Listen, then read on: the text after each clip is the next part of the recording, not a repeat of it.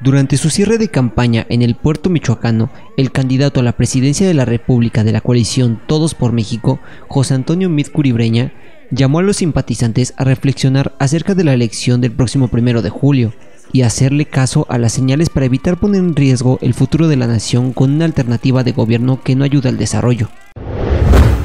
A partir del jueves en familia, vamos a ver cuáles fueron las señales que recibimos en esta campaña.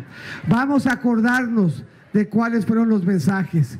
Vamos a ponderar qué fue lo que escuchamos para Michoacán y para Lázaro Cárdenas. Y vamos a resolver a quién queremos escuchar.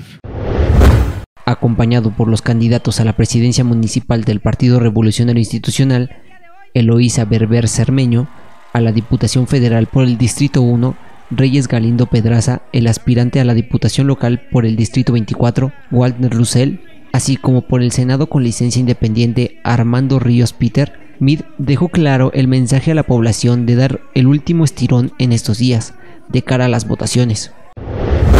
Ocupamos también, ayuden en su caminar y ayuden a la convicción de que la voz de Lázaro Cárdenas se escuche en el Congreso Federal, en la expresión de Reyes Galindo.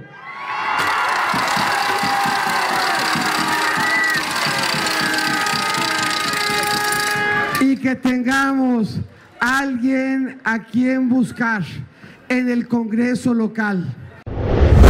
Asimismo, destacó su compromiso de ganar el proceso, trabajar en obras para este municipio como la central camionera, abastecimiento de agua potable, ampliación de la carretera a cuatro carriles de la orilla a la tendencia de la mira y un paso de desnivel en el acceso a las guacamayas, para que Lázaro Cárdenas esté en el centro de desarrollo de región. Asimismo, reiteró que en su proyecto político se buscará dar garantías para que los jóvenes culminen sus estudios a nivel profesional, así como programas de apoyo para las personas de la tercera edad, actualizar todos los años alternativas de empleo, así como también prometió que hospitales y clínicas funcionaran fines de semana. Con información de Diana Núñez, Agencia Cuadratín. Grupo de Oro presentó